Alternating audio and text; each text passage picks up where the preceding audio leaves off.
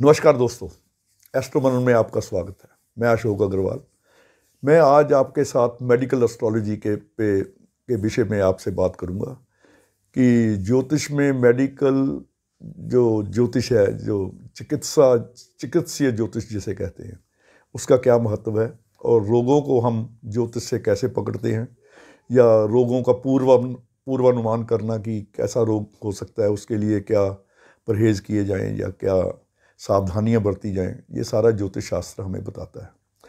सौभाग्य से मुझे कल एक, कुछ ग्रंथ के पन्ने मिले हैं, उस ग्रंथ का नाम है, वृद्ध सूर्य अरुण कर्म विपाक। वृद्ध सूर्य अरुण कर्म विपाक नाम का ये ग्रंथ है।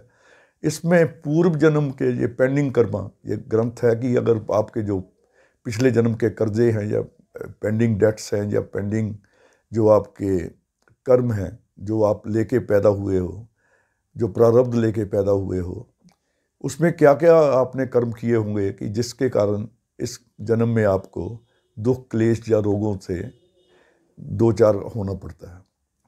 तो ये कुछ पन्ने मेरे, क्योंकि मैं तो वैसे बेसिकली लाल किताब पे आपसे बात करता हूँ।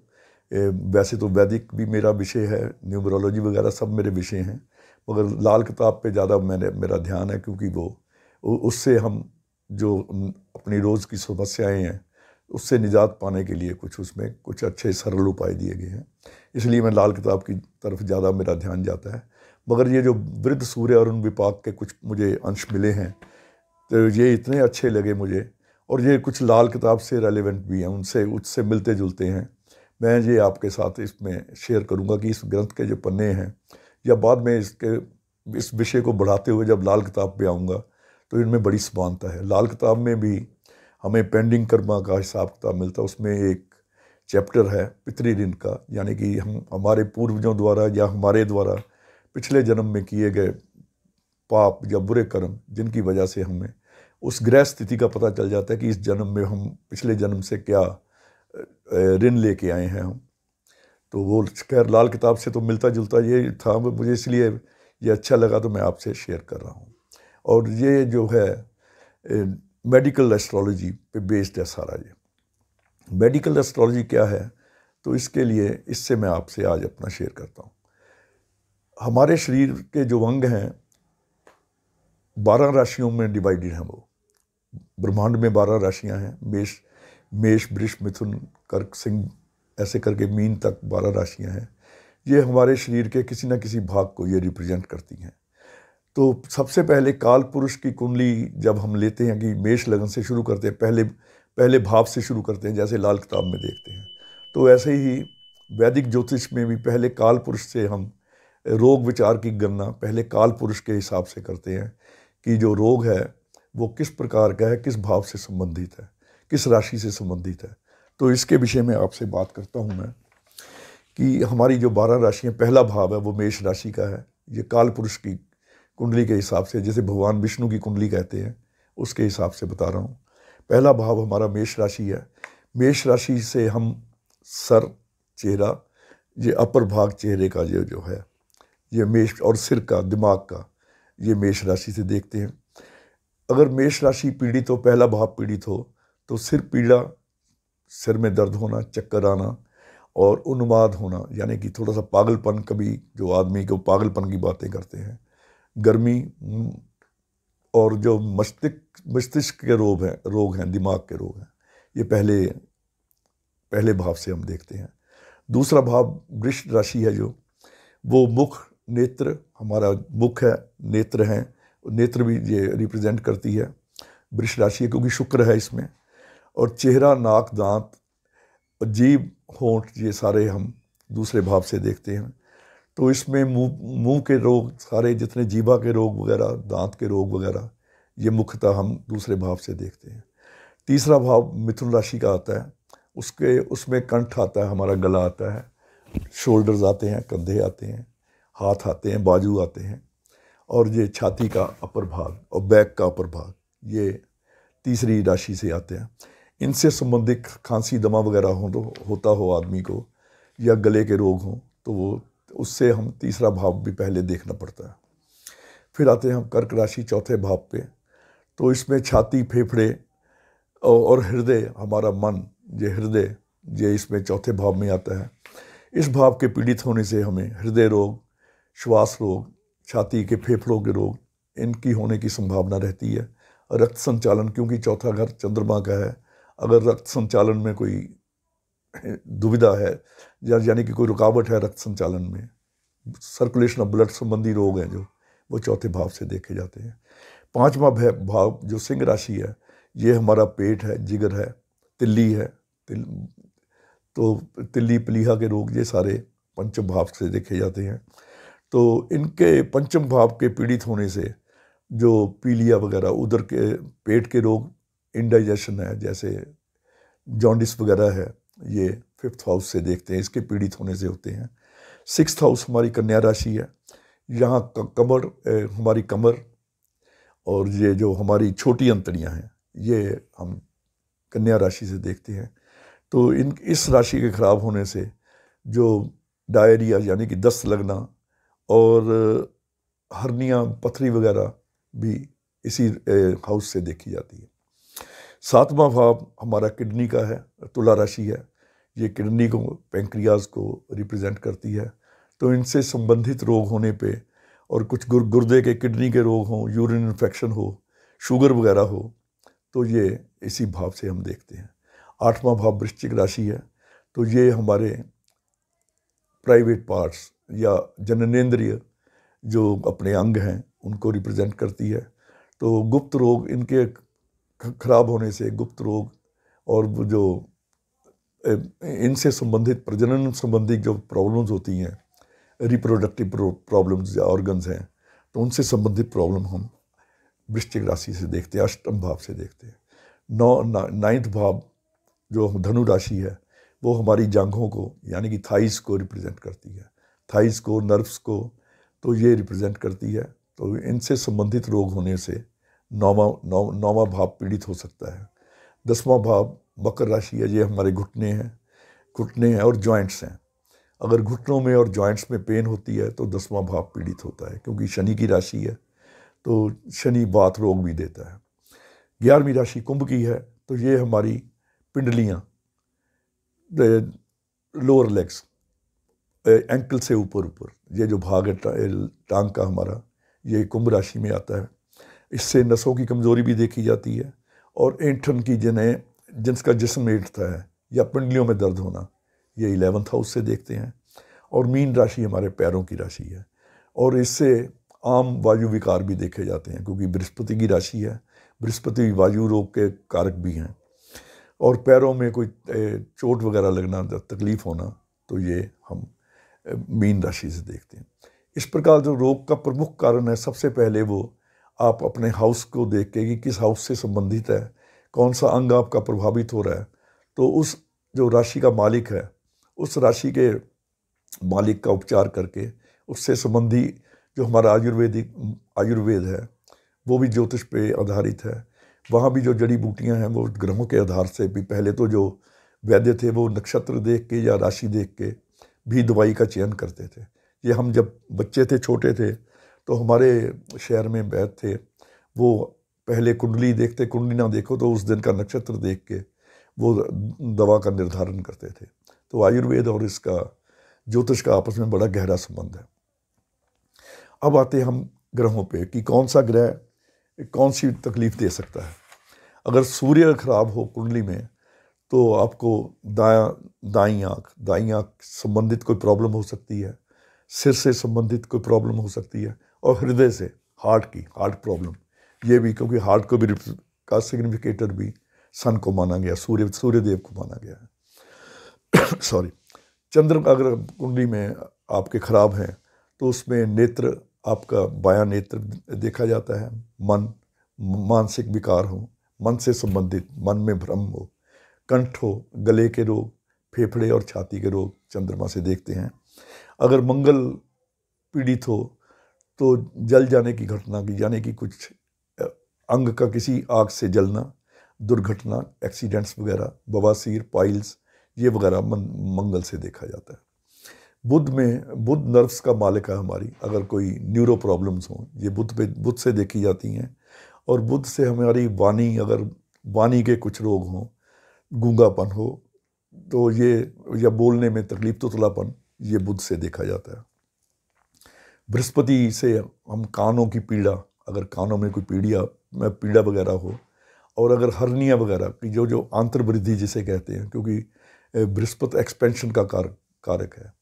ये जो अंतड़ियों का बढ़ जाना जिसे हरनिया वगैरह कहते हैं या सूजन हो जाने मास किसी अंग का सूजन सू, सूजना या अंतड़ियों की प्रॉब्लम इंस्टेंटाइन्स की ये हम गुरु से देखते हैं। शुक्र से हम शुगर मधुमेह जिसे कहते हैं प्रमेह और प्रोस्टेट का बढ़ जाना या प्रजनन अंगों में कुछ खराबी होना या कमज़ोरी होना, ये शुक्र से देखते हैं। शनि से हम थकान, कमज़ोरी, अगर आदमी में लेजीनेस है, थक, थका रहता है, थकान ज़्यादा महसूस करता है, आलस से होना और वायु रोग होना, वायु वायु से दर्द होते हैं, अगर शरीर में वायु जो हो जाए तो दर्द वगैरह होते हैं या लंबी बीमारी जैसे पैरालिसिस वगैरह हो जाए तो वो हम शनि से देखते हैं। राहु से हम फ़ूड पॉइजनिंग देखते हैं और राहु से कुष्ठ रोग लेप्रोजी भी देखते हैं और अगर आदमी को फिट्स वगैरह पड़ते हैं तो ये राहु पीड़ित होने पे होता है। और अगर केतु हो तो केतु से जैसे कई व्यक्तियों को आपने देखा होगा या लड़कियों को जब मिस कैरेज हो जाता है, वहाँ पे केतु सक्रिय रहता है। या और कोई एक्सीडेंट्स का भी, क्योंकि मंगल की तरह काम करता है एक्सीडेंट्स वगैरह भी हो सकते हैं। और या फ़ूड पॉइजनिंग वगैरह, ये भी केतु देता है। तो ये अगर आप इन ग्रहों को देखते हैं राशियों से आप संबंध बनाते हैं कि कौन सी, कौन से शरीर के भाग में वो राशि कहाँ पड़ रही है उस राशि कैसे पीड़ित हो रही है, और कौन सा ग्रह पीड़ित हो, करके उसे, और कौन से ग्रह द्वारा दिया गया रोग आपको हो रहा है तो इसके आप बड़ी सरलता से उपाय कर सकते हैं।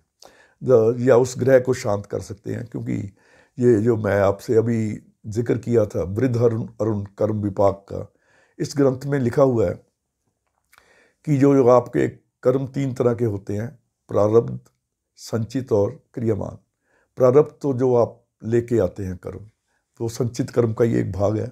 तो वो जो और क्रियामान कर्म जो आज वर्तमान के कर्म हैं आपके तो उसने बड़ी उसमें बड़े, बहुत ही कमाल से लिखा है। कहते हैं, ये ये जो वर्तमान काल में मिथ्या आहार विहार के कारण शरीर में रोग उत्पन्न हो जाते हैं, इनसे भी रोग उत्पन्न होते हैं। और ये कुष्ठ रोग, उदर रोग, गुदा रोग, उन्माद, अपस्मार अपस्मार यानी कि एपिलेप्सी वगैरह, और पंगल भगंदर भगंदर भगंदर को आजकल कैंसर की भी संज्ञा दी गई है। और नेत्रहीनता, अंधा हो जाना, अर्श, बबासीर यानी कि पाइल्स पैरालिसिस पक्षाघात संग्रहणी लगातार मतलब आपको जो डायरिया वगैरह जिसे कहते हैं, और वाणी दोष आदि, ये पूर्व जन्म में किए गए पर स्त्री गमन, ब्रह्म हत्या, पर धन अपहरण, किसी का धन धन अपहरण कर लेना, बालक, स्त्री, निर्दोष व्यक्तियों की हत्या हत्या करना, अर्थात दुष्कर्मों, इन दुष्कर्मों के प्रभाव से जो मैंने अभी रोग बताए हैं, ये होते हैं। इसका आगे मैं आपको बताता हूँ, उसमें थोड़ा सा संक्षिप्त में भी बताऊँगा आपको। तो इनका जो कुंडली में रोग का और उसके समय का ज्ञान भी ये कुंडली में रोग कब होगा और कब इसका समय देखा जाए तो उसमें उन्होंने ये ग्रंथ में लिखा है पीड़ा कारक ग्रह अपनी ऋतु में, अपने वार में मासेश होने पे, यानी कि उस महीने का मालिक होने पे, अपने वर्षेश होने पे, उस वर्ष का मालिक होने पे अपने वर्ष में, अपनी महादशा, अंतरदशा प्रत्यंतर दशा तथा सूक्ष्म दशा में रोग कारक होते हैं। गोचर में पीड़ित भाव या राशि में जाने पर भी निर्बल पाप रोग उत्पन्न करते हैं। सूर्य अगर पीड़ित हो तो बाईसवें भाव में बाईसवें साल में, चंद्र चौबीसवें साल में, मंगल अट्ठाईसवें, बुध पैंतीसवें, गुरु सोलहवें, शुक्र पच्चीसवें, शनि छत्तीसवें, राहु चवालीसवें और केतु अड़तालीसवें वर्ष में अपना शुभ, अशुभ फल देते हैं। अगर ये पीड़ित हों तो इन विशेष वर्षों में वो अपना जो रोग है, उस भाव से संबंधित जिस भाव में बैठे हैं, उस भाव में ये अपना रोग देते हैं। सॉरी अब मैं वृद्ध अरुण वृद्ध सूर्य अरुण कर्म विपाक जो ग्रंथ है, उसके जो कुछ पन्ने मेरे हाथ आए हैं, जो मैं आपसे शेयर कर रहा हूँ, उसमें जो पिछले जन्म में किए गए पाप हैं, उसमें कम से कम 200 तरह के कर्म हैं जिनको उन्होंने बताया कि किस कर्म करने से क्या रोग होता है, मगर उसमें से मैंने बड़े मुख्य मुख्य छांटे हैं, वो मैं आपको बताता हूँ कि जैसे गोवध करने वाला गाय गाय की हत्या करने वाला तो वो विक्षिप्त, यानी कि पागलपन से, सिर में भयंकर दर्द से वो पीड़ित हो सकता है, इस जन्म में वो। कृतघन, जो आदमी किसी के उपकार को भूल जाता है, उसे श्वास के रोग होते हैं, अस्थमा वगैरह होते हैं और पित्त के रोग होते हैं, यानी कि पेट में दर्द वगैरह, पित्त का जाना ज़्यादा बनना, ये होते हैं। अभक्ष्य भक्षण, जो शास्त्र में वर्जित भोजन है, उसको खाने वाले के पेट में कीड़े पड़ जाते हैं। इस जन्म में वो उदर कृमि से परेशान रहता है। भोजन में विघन, किसी के भोजन का, कोई भोज भोजन करता हो आदमी, उसमें अगर आदमी विघन डालता है या डाला होगा उसने तो उसे अजीर्ण की समस्या, यानी कि बदहजमी की समस्या रहती है। पर निंदा करने वाला, जो आदमी दूसरों की निंदा करता रहता है या उनको नीचा दिखाता है तो वो गंजा, यानी कि खलबाट जिसे कहते हैं, और हृदय रोग से पीड़ित हो जाता है। बलात्कार करने वाले, जिन्होंने पिछले जन्म में बलात्कार किया हो, पूर्व जन्म में तो वो यौवन अवस्था में जाके पागलपन के शिकार शिकार हो जाते हैं। लूटपाट और चोरी करने वाले लोगों को, जिन्होंने किए होते हैं पूर्व जन्म में तो उनको पैरों के रोग होते हैं। पैरों से लंगड़ा हो जाना या पोलियो हो जाना ये जिन्होंने पिछले जन्म में बलात्कार वगैरह ये पूर्व जन्म के पाप और उनका उनसे उत्पन्न रोग जो इस जन्म में भुगते हैं उसका मैं बता रहा हूँ आपको। मैंने बड़े संक्षिप्त में थोड़े से लिए हैं। और मा, माता पिता की सेवा ना करने वाला या उनका ए, उनकी हत्या करने वाले आदमी को ये चेतनाहीन या अंधे होते हैं। इस जन्म में वो अंधा भी हो सकता है या जड़ आदमी जिसको कुछ नहीं पता पागलपन की भी एक चे, चेतनहीनता पागलपन की एक निशानी होती है वो हो सकते हैं। और जो जिन्होंने पिछले जन्म में बैलों को बधिया करते हैं जो जो गाय के बच्चे को सांड बनने से रोकते हैं उनको बधिया कर देते हैं बैल बना लेते हैं तो वो इस जन्म में नपुंसकता को प्राप्त होते हैं। पक्षियों और जानवरों को बद का वध करने वाले नित्य रोगी। नित्य रोगी का मतलब उन्हें किसी ना किसी रोग से रोज जूझना पड़ता है। पर स्त्री गमन दूसरे की पर स्त्री का गमन, यानी कि जो अपनी स्त्री के अलावा दूसरी स्त्रियों से गमन करता है तो उन्हें अनेक प्रकार के घाव और चर्म रोग होते हैं। अगर मतलब किसी किसी अवस्था में अगर पाप ज़्यादा पिछले भी कुछ उजागर हो जाए तो कुष्ठ रोग भी हो जाता है। और पर पुरुष गमन, अगर जो स्त्री कोई पर पर पुरुष पुरुष का गमन करती है, यानी कि अपनी पति से द्रोह करती है तो वो इस जन्म में अगले जन्म में बाल विधवा या बांझ होके किसी नीच कुल में जन्म लेती है। तो ये मैंने बड़े छोटे छोटे से ये थोड़े संक्षिप्त लिए हैं। इसमें तो दो ढाई सौ प्रकार की, कई चोरियाँ, कांसे की चोरी का अलग है, पीतल की चोरी का अलग, सोने की अलग बोती चोरी अलग, और उसके अलावा कई किस किस पशु का बात, ये बहुत लंबी चौड़ी लिस्ट है। तो मैंने बड़ा संक्षिप्त में आपसे इसका मैं, मैंने वर्णन किया है। तो ये इस प्रकार उन्होंने कहा है कि अगर ये आपको इस प्रकार के रोग होते हों तो इनका जो उपचार है तो उसमें आप ज, जप जप करने से जो चिकित्सक की औषधि है वो अपना प्रभाव शीघ्र करने लग जाती है। होम करने से हवन करने से हवन करने से दान करने से दान की बहुत महिमा बताई है इन्होंने।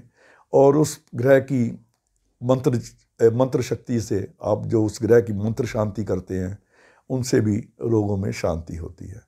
तो ये मैं आपसे कुछ, ये चीज़ें जो मेरे हाथ में ये थोड़े से पन्ने आए थे, वो मैंने आपसे शेयर किए अब मैं अगले वीडियो में, ये वीडियो लंबा होता जा रहा है, इन सब चीज़ों को लाल किताब के वर्णन से कि लाल किताब में मेडिकल एस्ट्रोलॉजी के बारे में क्या लिखा है, इन ग्रहों के पीड़ित होने पे लाल किताब क्या कहती है, और उसमें कुछ युतियाँ भी दी गई हैं कि जैसे बृहस्पति और राहु, बृहस्पति को सांस का है, राहु को धुआँ का है बृहस्पति राहु अगर कुंडली में हो तो सांस घुटने की तकलीफ़, यानी कि अस्थमा, ब्रोंकाइटिस, वो वगैरह हो जाते हैं। वो जो उनकी जुतियों से होने वाले जो रोग हैं और उन ग्रहों से होने वाले रोग हैं, लाल किताब के अनुसार कैसे होते हैं और उनके बड़े सरल उपाय क्या होते हैं, वो मैं इससे नेक्स्ट वाली जो वीडियो है, उसमें आपसे शेयर करूँगा। आज के लिए इतना ही, धन्यवाद, नमस्कार।